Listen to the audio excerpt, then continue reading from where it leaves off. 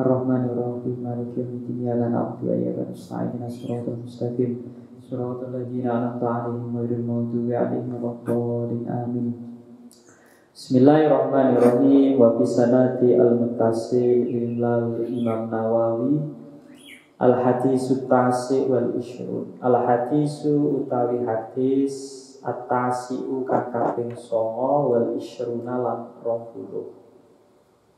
Hadis yang ke-29 Iku an Mu'ad bin Jabal radhiyallahu anhu iku dan riwayataken saking sahabat Mu'ad bin Jabal radhiyallahu anhu. Kala ngendika sinten Mu'ad kultu ngucap sapa ingsun. Ya Rasulullah, Rasulullah, he utusan Allah. Akhirni bi amalin yudkhiluni al jannata wa yu'ab wa yubaiduni nar. Ya Rasulullah, he utusane Allah, akhir uli kula aturi awe ngerti panjenengan. Kula aturi awe weruh panjenengan ni ing ingsun. Yo nek karo wong sak ngisore yo akhir, awe kabar, awe ngerti sira. Cuma niki kan uh, ucapane sahabat Mu'ad kepada kanjeng Nabi. Jadi yo di maknani dengan makna dengan bahasa yang lebih halus. Akhir kula aturi maringi ngertos jenengan ni ing ingsun. Bi amalin kelawan amal yudhilu kang ake opo amal ni ing ingsun al jannata ing swarga. Wa itu la ngeduake opo amal ni ing ingsun anin nari sanging rokok Terus sahabat Mu'ad bin Jabal tanglet kali kanjeng Nabi. Kanjeng Nabi mbok yo kula diparingi ngertos, diparingi pirsa. Ngamal nopo sing saged mlebetaken swarga lan saged nebiaken saking neraka. Mbok kula niku diparingi ngertos amale nopo. Kala ngendika sinten Kanjeng Nabi Muhammad sallallahu alaihi wasallam laqad sa'alta an adimin wa innahu la yasirun ala man yassarahu taala alaihi ta'budullaha la tusyriku bihi syai'a wa tuqimus shalah wa tu'tiz zakah wa tasumu ramadhana wa tahujjul baita Kala ketika sinten Kanjeng Nabi lakot sa'alta yektine teman-teman takon sapa sira an adimin saking perkara kang agung. Jadi eh, pertanyaan dari sahabat Mu'ad bin Jabal itu mendapatkan ujian dari kanjeng Nabi. Pertanyaanmu itu Eh, sesuatu yang kamu tanyakan adalah sesuatu yang sangat agung, sesuatu yang sangat besar. Ya. Wa inna lan sak temene amal layasirun iku yektine dadi gampang.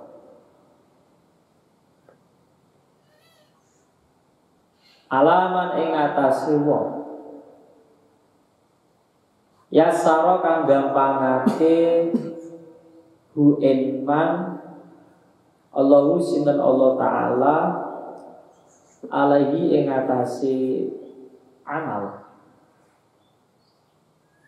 Jadi sahabat muat tangket kanjeng Nabi mbok yo kula diparingi perso ngamal sing saged dadosaken mlebet swarga ngedoaken saking neraka niku ngamal napa dijawab kali kanjeng Nabi oh takonanmu iku takonan sing apik takonan sing agung. Pertanyaan itu pertanyaan yang sangat penting sekali. Amal yang bisa menjadikan seseorang itu masuk surga dan menjauhkan ia dari neraka adalah amal yang akan terasa mudah bagi orang yang memang dimudahkan oleh Allah untuk menjalankan amal tersebut.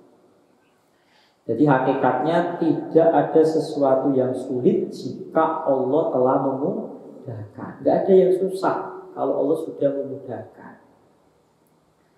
Ta'budullah la tusyriku bi syai'ah. Ta'budu rupane nyembah sapa sira. Allah ing Allah. La tusyriku hale ora nyekutokake sira bihi kelawan Allah syai'an ing siji-siji.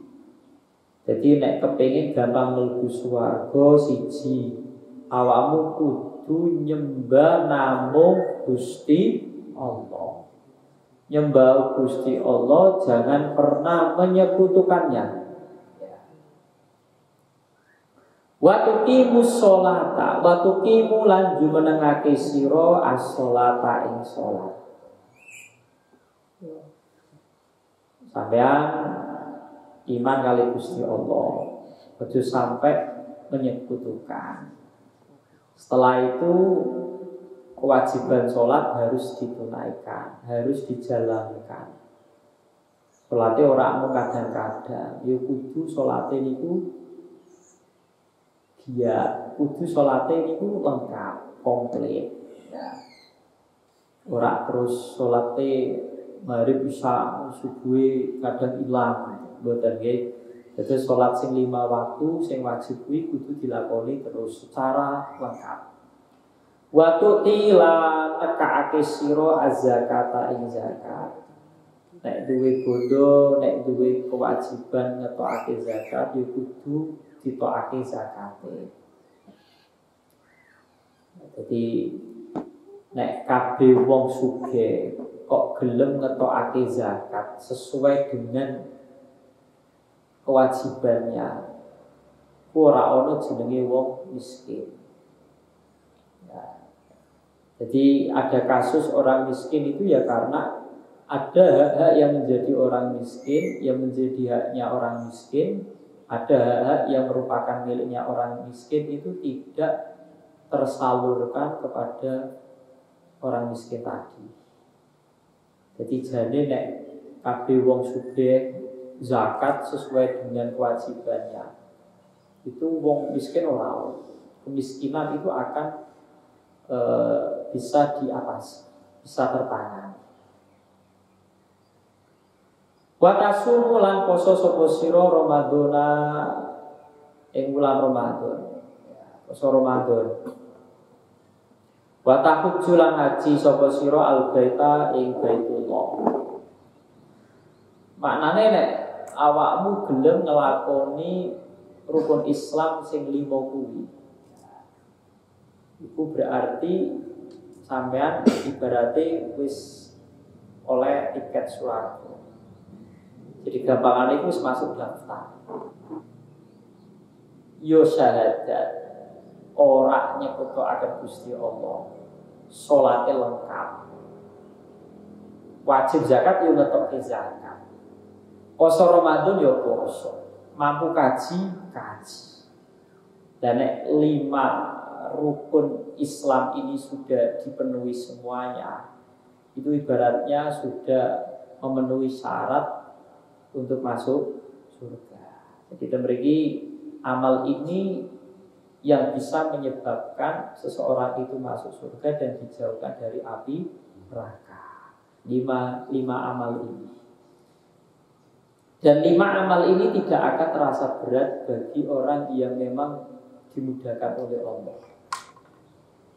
Jadi wayai poso poso, wayai ngetok zakat zakat, duit duit gumakat kaji kaji, wayai waktu ini sholat di sholat. Tidak pernah menyekutukan Allah. Sumakola. Sumakola nuli ngendika sinten Kanjeng Nabi Muhammad sallallahu alaihi wasallam. Ala adulluka ala abwabil khair. As-sawmu junnatun was-sadaqatu tudfi'ul khati'ata kama yudfi'u al-ma'u an-nar wa salatul rajuli fi jawfil laili summa tala tatajafa junubuhum anil madoji hatta balagha ya'malun Suma kola nuli ngendika sinten Kanjeng Nabi Muhammad sallallahu alaihi wasallam ala aduluka ana to ora nuduhake sapa ingsun. Ka ing sira. Sirane niki sira Mu'ad Jabal. Jadi Mu'ad Mu'ad Jabal taklet amal sing iso ndadekake mlebu swarga pun dijawab kali Kanjeng Nabi. Setelah itu ditambahi kali Kanjeng Nabi. Ala aduluka ono to ora awe pitutu sapa ingsun ka ing ala abwa bil khairi ing atase pira-pira lawange kebagusan. Kemudian kanjeng Nabi menawarkan ini tak beritahu mengenai pintu-pintu kebaikan. as utawi poso junnatun iku tamai. Junatun ikut tameng saking rokok. Di e, wikoyatan min bila poso iku iso dadosaken wong kuwi aman terjaga dari siksane Gusti Allah. Ibaratnya puasa itu seperti perisai. Tameng ya, ngerti kan ya nek wong perang itu kan gue pedang karo gowo perisai opo ngene cara basa Jawa. Yo tameng ya. Wa sodako tu utawi sodako yudfi'u iku menghapus utawa iku nglebur apa sodako al khoti ata ing dosa Kama yudfi'u kaya oleh mateni apa alma banyu annaro ing geni Jadi sodako itu bisa menghapus bekas-bekas dari keburukan yang kita perbuat. Jadi nek ono wong ngelakoni keelean, ono wong ngelakoni dosa, itu ada asarnya, ada lagete, ono bekas.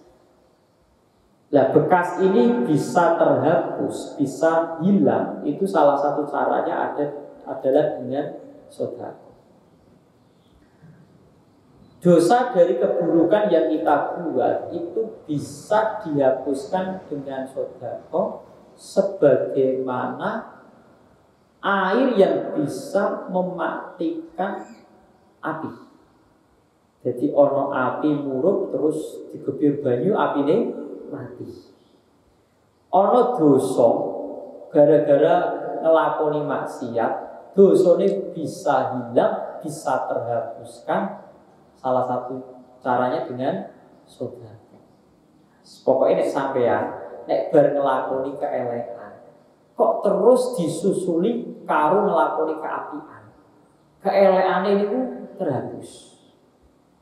Ya, karena nek bar ketoke kok ngelakoni perkara sing kategori maksiat ya sak kuwi kudu ngelakoni perkara sing apik kanggo mlebu. Ya ditobati terus nglakoni keapian. Wa sholatu rajuli utawi salate wong lanang fi jawfil laili bagi ngeten. Wa sholatu rajuli lan salate wong lanang fi jawfil laili fi jawfil laili wengi. Salah satu bentuk kebaikan, salah satu pintu dari kebaikan adalah sholat malam. Jadi termasuk sholat sing istimewa ya sholat yang dilakukan pada malam hari. Karena sholat pada malam hari itu sholat yang lebih aman dari riak.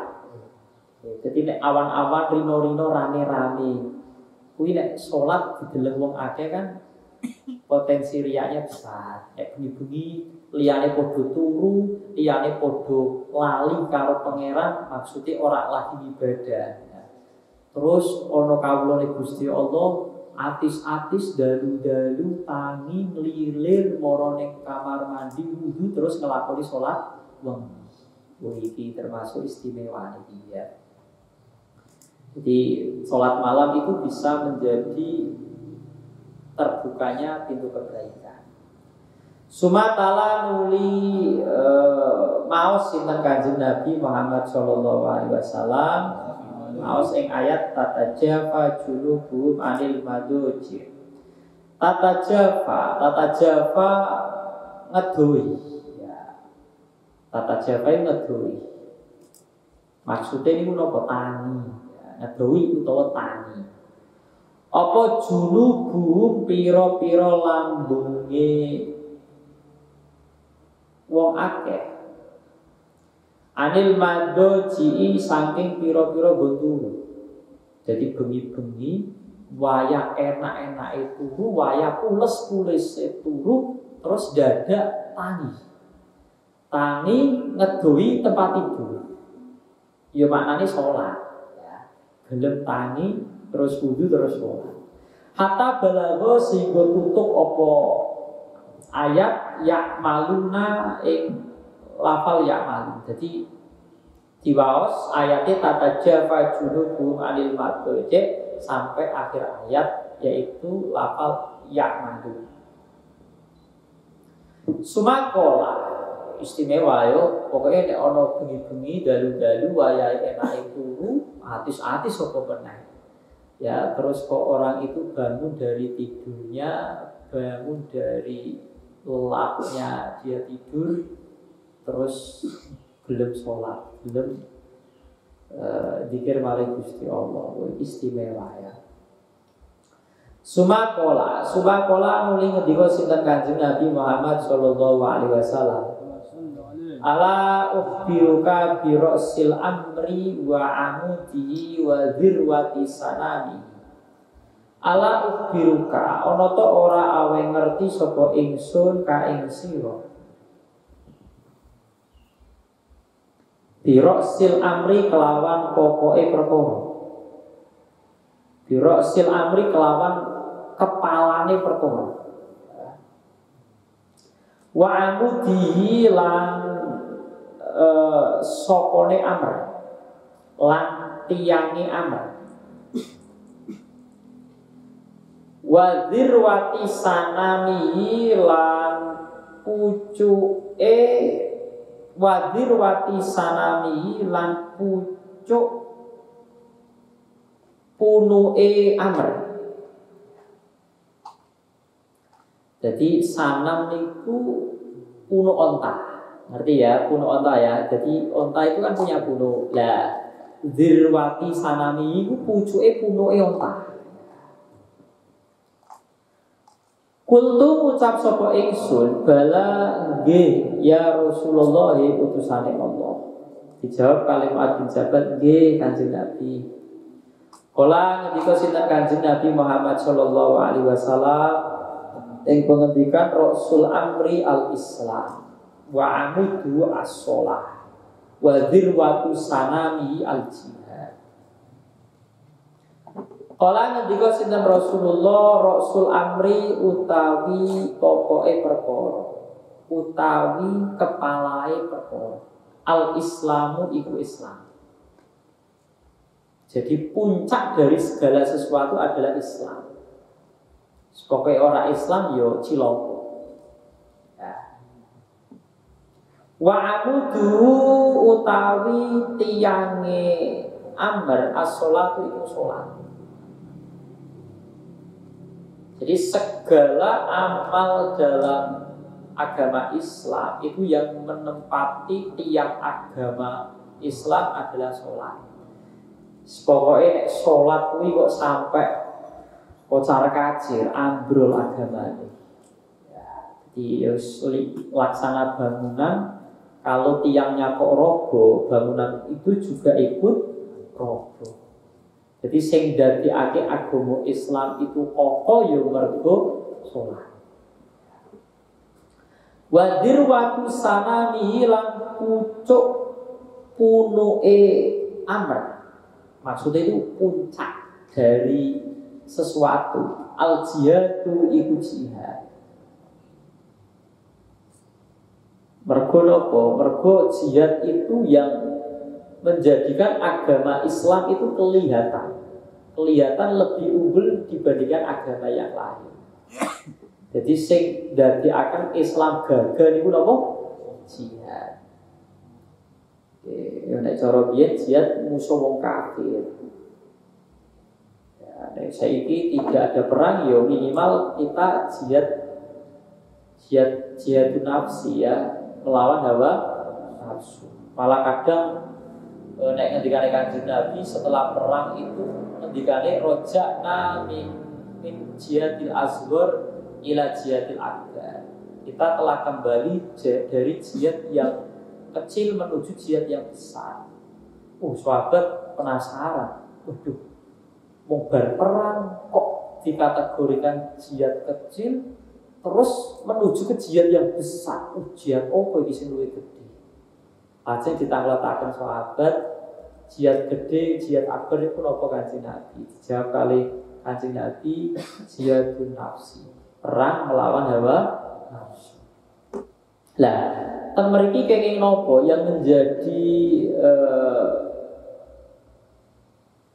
lambang ya yang menjadi lambang itu kenapa kok sanam sanam itu kan kuno onta kenapa kok orang kuno kewan liyane misal kok orang pucuk gunung misal kenapa kok kuno onta dan mriki dijelaskan keranten onta itu termasuk saapi-api e bondone wong Zaman riyin simbol kekayaan, hewan yang menjadi simbol kekayaan teratas adalah unta.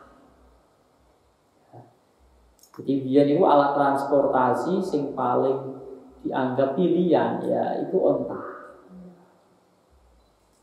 Jadi maknanya yang menjadikan uh, jihad itu disamakan dengan Onta ya tadi ya, onta itu termasuk harta pilihan, harta paling dipilih orang dulu, harta terbaik, simbol kekayaan itu ya onta. Sumakola, Sumakola mulai ngendiko sinten kanjeng Nabi Muhammad Shallallahu Alaihi Wasallam, ala uhbiruka bimala kida likakuli, ala uhbiru onoto ora awe weru sopo ingsun ka ing Bimala kidalika kelawan pemilih menggono-menggono amr. Pemilih menggono-menggono kabeh mau. Kulihi yes kabehane dalik Fakultu mongko ngucap sapa ingsun balan ya Rasulullah eh Rasulullah. Pak Akoda mongko ngalap mongko nyekel sinten Kanjeng Nabi ilisanihi kelawan lisane kanjeng Nabi. Wa qala lan ngendika sinten kanjeng Nabi kufa alaika hada. Kufa jogo sira alaika wajib ing sira. Ada ing iki lalisan. Jadi kanjeng Nabi ngendika ngeten kabeh perkara mau itu tidak akan bisa menjadi sempurna kalau kamu tidak menjaga ini jadi sing ditunjuk kanjeng Nabi, sing dipegang oleh kanjeng Nabi nopo niki? Lisan. Segala hal yang sudah disebutkan tadi ya, mulai sholat, mulai zakat, poso, jihad, wabe mau itu tidak akan bisa sempurna kalau kamu tidak bisa menjaga nopo lisan. Orang itu jaga mulut. Makanya enten hadis mangkana yu'minu billahi wal yaumil akhir falyakul khairan aw liyasmut. Sapa wonge sing iman karo Gusti Allah, sing iman karo hari akhir, ngomong sing apik. Nek ora iso menengo. Jadi mulut itu harus dijaga. Makanya bolongan lurus sing ndadekake wong mlebu swarga niku ora ana luwekake tinimbang siji cangkem loro verji. Jadi bolongan loro iki lho sing dadi ake ake ake wong iku padha mlebu napa? Neraka. Makanya kudu dijaga. Ya, kudu dijaga. Makanya uh, enten hadis uh, sapa wonge sing nikah iku fakodis tak malah nisfanis nisfa dirihi. Sapa wonge sing wis nikah iku diibaratake wong kuwi wis iso jogo separo agamane. Ya, fal taki uh, binis filbati.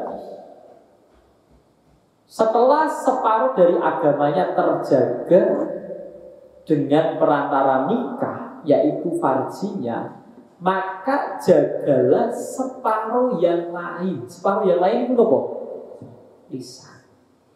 Makanya akai e, wong niku mlebu neraka ya urusan cangkem. Ya, urusan mangan yo. Dan saya jelaskan separuh bagi yang yang sep, apa namanya separuh agama yang lain itu ya perlu urusan petang. Nah, tapi wetang wetang ya wetang kalau budi teko budi cangkem. Omongan ngerasani, ngelek-ngelek wong, mitnah, ngomong kasar, itu kabeh yo cangkem. Kultu ngendika sin uh, kultu ngucap sapa ingsun, ya Nabi Allah, eh Nabi Gusti Allah. Wa inna lan sak temene kita Lamu akhuduna iku yektine wong kang ditatrapi kabeh. Maksudnya wong kang ditatrapi iku wong kang diseksa kabeh. Bima sebab perkoro nataka lamu kang guneman sopo kita bi kelawan Ya kanjeng Nabi opo to awake kita kabeh niki bakal disiksa gara-gara ucapan kita.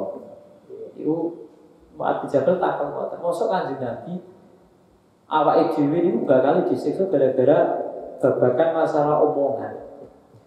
Kala ngendika sinten Kanjeng Nabi Muhammad sallallahu alaihi wasallam sakilat ka umuka. Sakilat kelangan ka ing sira sapa umuka ibu.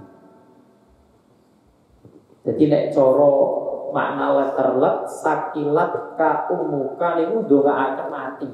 Nek secara letter let secara dunia maksudnya ngeten sakilat umuka itu awakmu dikon memperhatikan. Ya dikon memperhatikan, dikon uh, memperhatikan betul ya sakilat muka. Wal yakubu, wal yakubu la ora cep aki, ora aki, ora jungkelaki. Finari enda eh, anasa ing menungso finari ing dalem neraka. Ala wujuhim ing atase pira-pira wajahi anas. Alkola utawa ngucap ala mana kirihi Enten riwayat kanjeng Nabi ngendikane ala mana kirihi ora ala wujuhim Alkola utawa ngucap sinten Nabi ala mana kirihi ing atase piro-piro bolongan irunge nas. Manakhir niku iki bolongan irung. Ora jungkelake opo illa haso idu alsinatihim kejaba piro-piro omongan lisane anas. Jadi maksud maksudnya ngeten nggih, hasoid itu nek makna asale niku panen. Hasoid itu e, neni napa nggih? Panen ya perkara sing dipanen. Jadi ngeten. Nek awakmu ora iso jaga lisan. Ngomongane kok omongan sing dilarang, omongan sing elek. Itu ibarat seperti kalian menanam keburukan. Lah tanaman ini nanti akan dipanen saat di akhirat. Jadi kabeh omongan elek esuk bakal diwales, disekso. Jadi pemriki eh, aso itu al sinatihim niku maksudnya omongan-omongan sing pernah diucapkan karo lisan. Jadi kabeh omongan itu enten hisabi. Ya.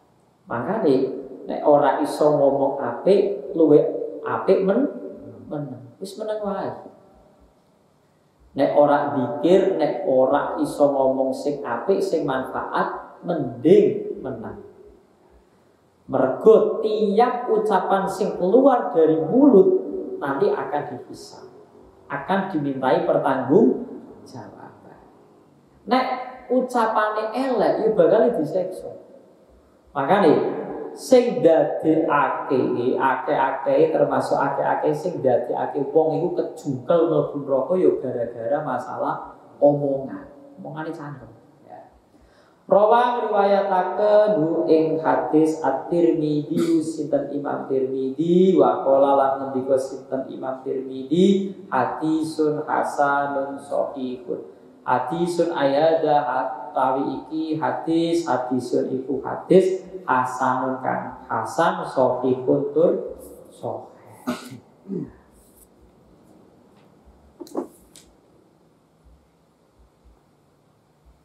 Pokoknya mulut itu kudu bener-bener dijaga ya.